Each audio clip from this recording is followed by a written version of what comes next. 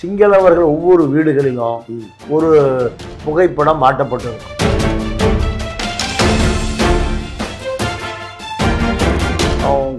கோத்தபயா குடும்பம் ஒட்டுமொத்தமாக கொள்ளையடித்து விட்டு தப்பி ஓடிவிட்டது.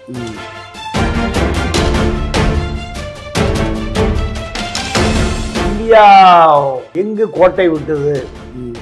எங்கு அவர்கள் சரியான அரசியலை செய்யவில்லை?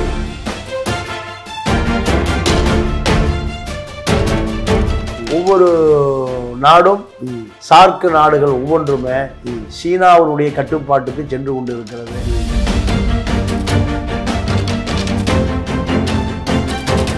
மோடியுடைய கட்டுப்பாட்டை இலங்கை அரசாங்கம் மதிக்காது.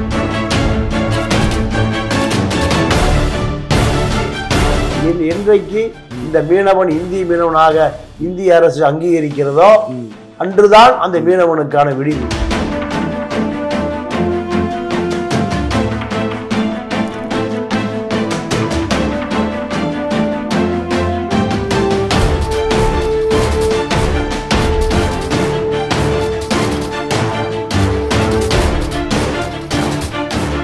அண்ணா வணக்கம். வணக்கம். ஈழத்தமிழர்கள் கொத்து கொத்தாக கொல்லப்பட்டு இன்றைக்கு வந்து அஹ், பத்து ஆண்டுகள் ஆகி வந்து ஒரு தேர்தல் நடந்திருக்கு அதிபருடைய தேர்தல். அந்த தேர்தல் களத்தை நீங்கள் எப்படி உங்களுடைய கண்ணோட்டத்தில் நீங்கள் எப்படி பார்க்குறீங்க உண்மையிலே அங்கே வந்து அங்கே இருக்கக்கூடிய தமிழர்களுக்கு வந்து ஒரு இந்த அரசால் விடிவு கிடைக்குமா? இப்போ அனுரா குமார திசாநாயக்கா. இவர் தான் இப்போ அதிபர் தேர்தலில் வெற்றி பெற்றிருக்கார். இரண்டாவது இடம் சஜித் பிரேமதாசா. மூன்றாவது இடம் முன்னாள் பிரதமர் ரணில் விக்ரமசிங்க. மூணு பேர். இந்த மூன்று பேரில் முதலாவது வந்த இப்போ ஜனாதிபதியாக போகிற அனுரா குமார திசாநாயக்கா போன தேர்தலில் மூன்று சதவீதம் வாங்கியவர். இப்போ ஐம்பத்தி மூன்று சதவீதம் வாங்கியிருக்கார். ஐம்பது சதவீதம் ஐம்பத்தி மூணு ஐம்பத்தி மூணு வாங்கியிருக்கார். இந்த கட்சி ஆயிரத்தி தொள்ளாயிரத்தி எழுவத்தி ரெண்டில். ஒட்டுமொத்த இலங்கையும் ஆயுத முனையில். புரட்சி நடத்தி. இலங்கையை தன்னுடைய கட்டுக்குள் கொண்டு வந்து விட்டது ஆயிரத்தி தொள்ளாயிரத்தி எழுபத்தி எழுபத்தி மூணுல. எழுபத்தி மூணுல. எழுபத்தி மூணு அப்போ. பிரதமர் இங்க இந்திரா காந்தி இலங்கையில சிரிமாவோ பண்டாரநாயக் ம். இந்த கட்சி மாணவர்கள் மாணவிகளால். தீ கம்யூனிஸ்ட் அதாவது தீவிர கம்யூனிஸ்டுகள். ஒட்டுமொத்த இலங்கையை கைப்பற்றி விட்டார்கள். இந்திய ராணுவ இலங்கைக்கு சென்று. பத்தாயிரம் கல்லூரி மாணவர்கள் மாணவிகளை. சுட்டு கொன்று. இலங்கையை மீண்டும் சிரிமாவிடம் ஒப்படைத்தது. இந்தியா. இந்த தியாகத்தினுடைய பலன்தான் இன்னைக்கு அதிபரா வந்து அனுரா குமார திசாநாயக்கா அதிபராக பதவியேற்றிருக்கார் ம். நீங்க சிங்களவர்கள் ஒவ்வொரு வீடுகளிலும். ஒரு புகைப்படம் மாட்டப்பட்டிருக்கும். எழுபத்தி ரெண்டு புரட்சியின் போது உயிரிழந்தவர்கள் மாணவர்கள் மாணவர்கள் மாணவிகள். இப்போ இந்த தேசத்தை கோத்தபயா குடும்பம் ஒட்டுமொத்தமாக கொள்ளையடித்து விட்டு தப்பி ஓடிவிட்டது. அடுத்து. இரண்டாவது இந்தியாவினுடைய அடிமை ரணில் விக்ரம விக்ரமசிங்கா. இடைக்கால பிரதமராக பதவியேற்றார். மூன்றாவதாக புலிகளால் கொல்லப்பட்ட. பிரேமதாசாவினுடைய மகன் சுஜித் பிரேமதாசா மூன்றாவது களத்தில் நிற்கிறார். நான்காவதாக ராஜபக்சேவுடைய மகன் சில லட்சம் வாக்கு வாங்கி தோல்வி அடைந்து அவரும் தப்பி ஓடிட்டார். ஐந்தாவதாக தமிழர்கள் ஒட்டுமொத்தமாக அரியநேந்திரன் என்கின்ற பொது வேட்பாளரை நிறுத்தி இருபத்தஞ்சு லட்சம் வாக்குகள் தமிழர்களுக்கு. இருபத்தஞ்சு லட்சம் வாக்குகள் தமிழருக்கு கிடைக்கல. ரெண்டு லட்சம் வாக்குகள் கிடைச்சிருக்கு. அப்போ இருபத்தி மூணு லட்சம் வாக்குகள் சிங்களவருக்கு போயிடுச்சு. தமிழர்கள் ஒட்டுமொத்தமாக நம்பக்கூடிய.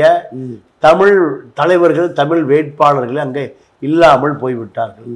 ஒன்று ரெண்டாவது ஒட்டுமொத்தமாக. தமிழர்கள் வாக்களிக்கக்கூடிய. நம்பிக்கையான வேட்பாளர்களையும் அங்கு இல்லாமல் இல்லாம போய்விட்டார்கள். இதை தாண்டி. நீங்க சுஜில் பிரேமதாசா. முஸ்லீம் வாக்காளர்கள் பதினைந்து லட்சம் பேரை முழுமையாக கவர்ந்திருக்கார். எப்படின்னா வடக்கு கிழக்கு ஆளுநரை எங்களுக்கு கொடுத்து விட வேண்டும். சுஜில் வெற்றி பெற்றால்.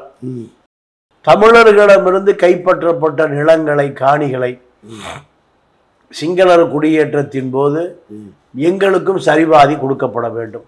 இப்படியான ஒப்பந்தங்களை சுஜில் பிரேமதாச பிரதமரான ஆனால் இந்த நடைமுறையை எங்களுக்கு கைச்சாத்திட வேண்டும். இதுதான் முஸ்லீம் முஸ்லிம் காங்கிரசின் தரப்பில் வைக்கப்பட்ட உடன்பாடு. ஹக்கீம் பக்ருதீன் இரண்டு முன்னாள் அமைச்சர்களும் அஹ், நேரடியா வைக்கிறாங்க. நேரடியாகவே சுஜில் பிரேமதாசாவிடம் கோரிக்கை வைத்து அவர்கள் தங்களுடைய வாக்குகளை செலுத்தினார்கள். இப்ப அவர்களும் ஒரு தெளிவான பார்வை. சிங்களவர்களும் ரணிலுக்கு வாக்களிக்காமல் சுஜிலுக்கு வாக்களிக்காமல். இந்த தேசத்துக்காக உயிரை விட்ட. இன்னும் சொல்ல போனா மிகப்பெரிய சிங்கள மத வெறியர்கள். யுத்தம் நடந்த பொழுது அனுராதபுரத்தை சேர்ந்த அனுரா குமார திசா நாயக்கா. புலிகளுக்கு எதிராக சிங்கள இராணுவத்துக்கு ஆட்களை தயார் பண்ணி தயார் செய்- செய்து அனுப்பியவர் தான் இந்த அதிபர். இவர் இவரால் தமிழர்களுக்கு எந்த நன்மையும் கிடைக்க போவது இல்லை. இப்படி தமிழர்கள் வாக்கும் செதறி போச்சு. தமிழர்களுடைய பொது வேட்பாளர் ரெண்டு லட்சம் வாக்கு வாங்கி அந்நியப்பட்டு போயிட்டார் இப்போ இவ்வளவு இப்ப, சிக்கலுக்கு மத்தியில். ஈழத்தமிழனுக்கு உரிமை கிடைக்குமா என்பது. பெரிய கேள்விக்குறி. ஈழ போராட்டம் ஆயுதம் மௌனிக்கப்பட்ட பிறகு எனக்கு ரெண்டாயிரத்தி ஒன்பது பத்து பதினைந்து வருட காலமாக.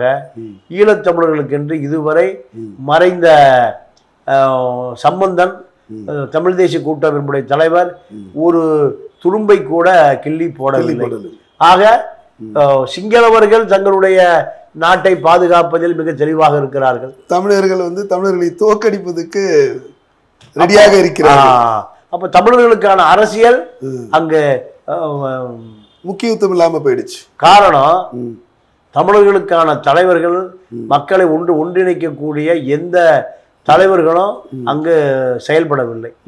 தமிழர்களுக்கான பிரதிநிதிகளாக அவர்கள் உருவாக்கப்படவில்லை.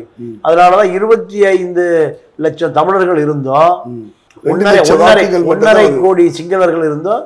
ஒன்னரை கோடி சிங்களர்களும் நீங்க மூன்று மூன்று பிரிவாக ஐம்பது ஐம்பது லட்சம் வாக்குகள் பதிவாயிருக்கு. ஆனா இருபத்தஞ்சு லட்சம் தமிழர்கள் இரண்டு லட்சம் தான் பதிவாயிருக்கு. மீதி இருபத்தி மூணு லட்சம் சிங்களர்களுக்கு சென்று விட்டது. இது மலையக தமிழர்களுக்கு மலையக தமிழர்கள். சிங்கள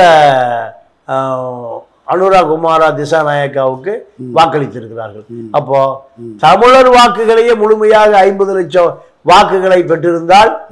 ஒருவர் பிரதமராக வந்திருக்க முடியும்.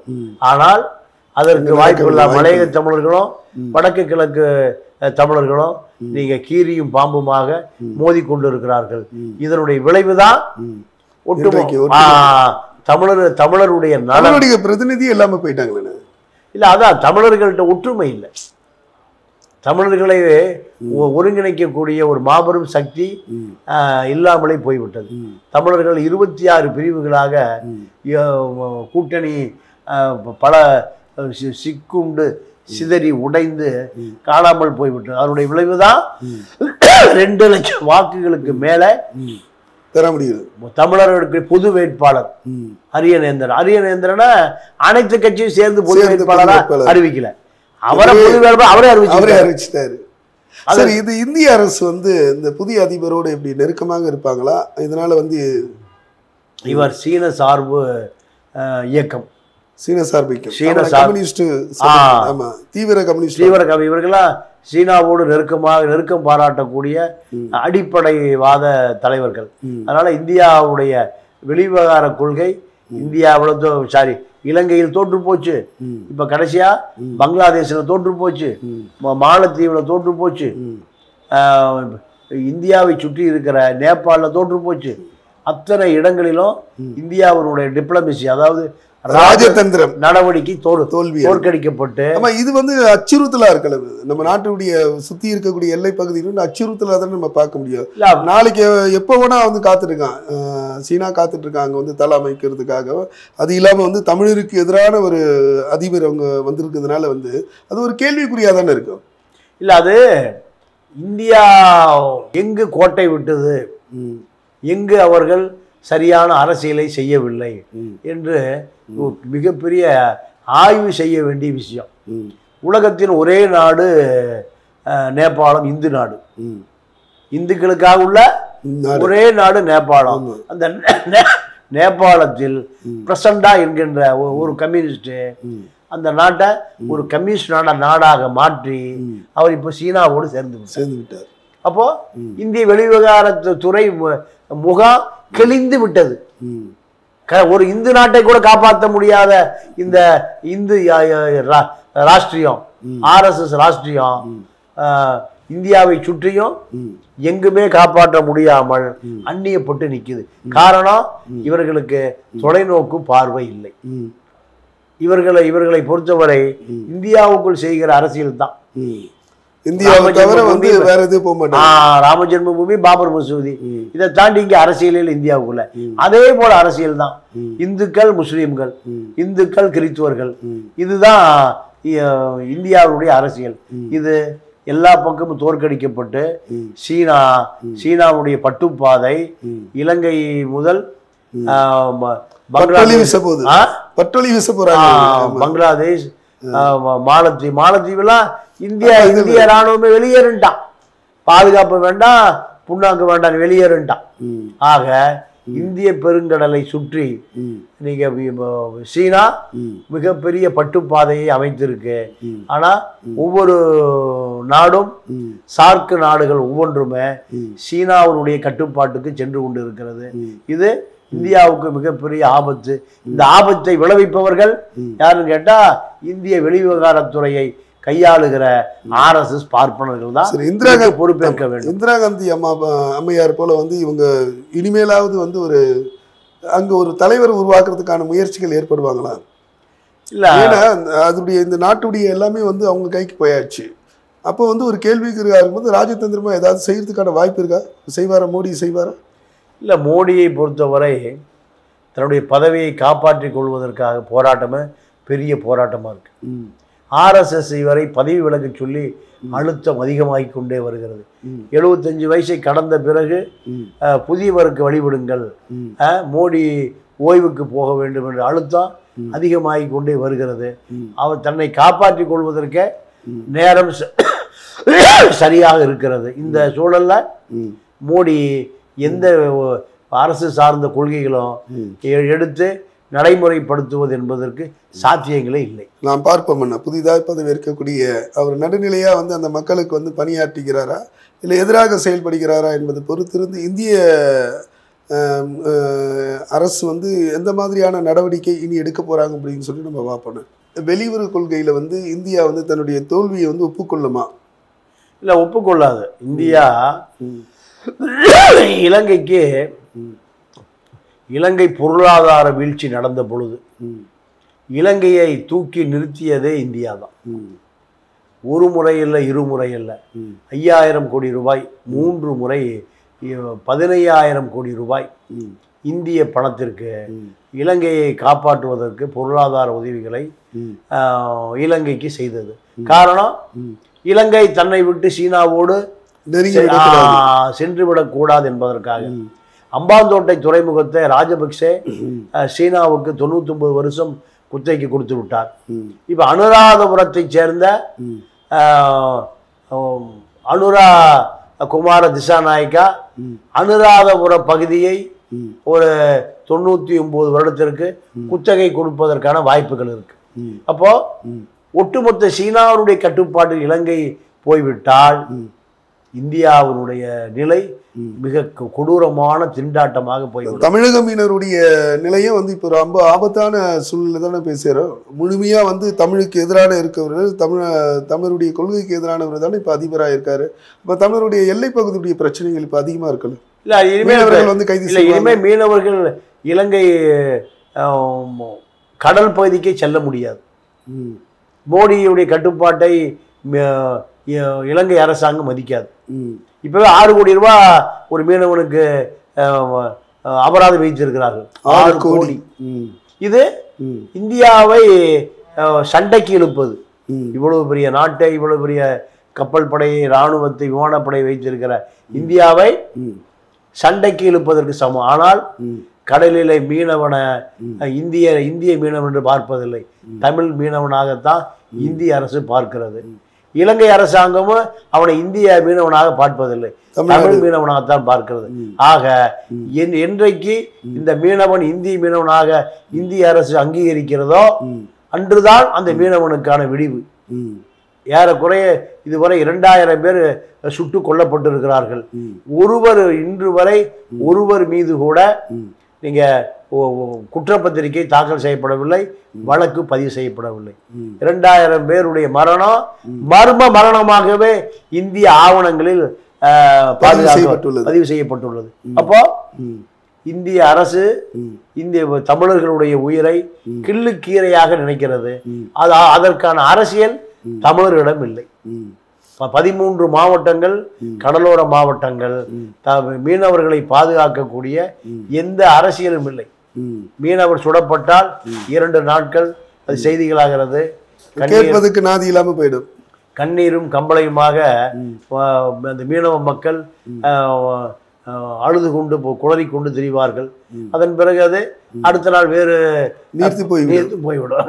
இப்படியாகத்தான் இது தொடர்ந்து கொண்டு இருக்கிறது இது இந்திய நலனுக்கு நல்லதில்லை. இந்தியாவினுடைய இவ்வளவு பெரிய இராணுவ கட்டமைப்பு இலங்கையைச் சேர்ந்தவர்கள் இதை மதிப்பதே இல்லை. இது உடனடியாக நடவடிக்கை எடுக்க வேண்டும் என்றால் இந்த நாற்பது நாடாளுமன்ற உறுப்பினர்கள் நாடாளுமன்றத்தில் மிகப்பெரிய இந்திய அரசுக்கு எதிராக ஒரு பெரிய அழுத்தத்தை கொடுக்க வேண்டும். ஆனால் நமது நாடாளுமன்ற உறுப்பினர்கள் அத்தனை பேருமே கார்ப்பரேட் முதலாளிகளாக இருக்கிற காரணத்தினால இலங்கை அரசாங்கத்தை நோக்கி அழுத்தம் கொடுப்பதற்கு அவர்களும் தயாராக இல்லை. நிச்சயமாக நான் நாம் பொறுத்திருந்து பார்ப்போம். தமிழக மீனவர்களுக்கு விடிவு கிடைக்குதா? இல்லை ஈழத்தமிழர்களுக்கு வந்து விடிவு கிடைக்குதா என்பதை? நன்றி வணக்கம். நன்றி வணக்கம்.